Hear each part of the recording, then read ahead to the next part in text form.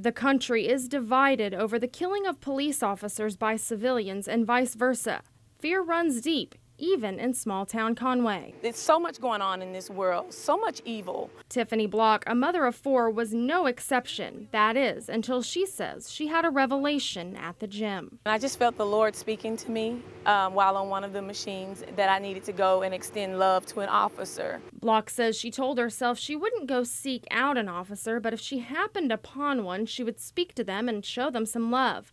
A few minutes later, she spotted Officer Heath Edens in his patrol car at a local grocery store. At that time, my kids were in the car, uh, three out of the four, and they were very nervous. They were scared um, with everything that's been going on.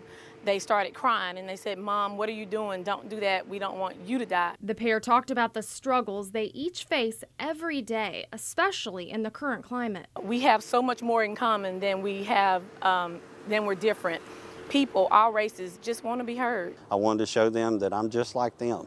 I'm, I'm normal. Um, I've just so happened to wear a uniform to protect them and the rest of the public. Just a few kind words and some police badge stickers. That's all it took, Block says, for Officer Edens to change her kids' minds about law enforcement. Block posted the story on Facebook and has gotten hundreds of shares and comments, inspiring her to begin the Love Matters movement. That's what we need in today's climate and in today's world is just having general conversations, us as, as and the public seeing us as normal citizens, that we're normal human beings. We have loved ones, friends, and family just the same as everybody else. In Conway, Winnie Wright, THV 11 News.